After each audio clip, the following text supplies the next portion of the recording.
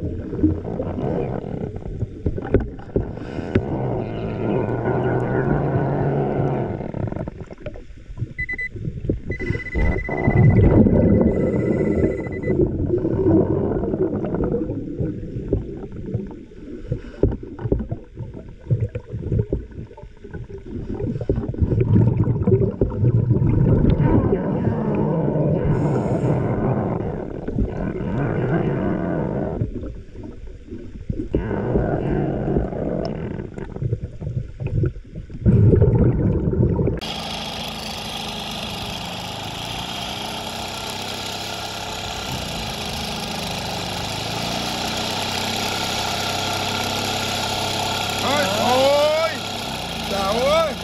Trời ơi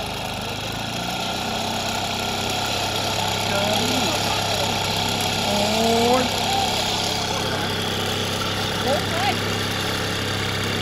Bốp lê ha Bốp lê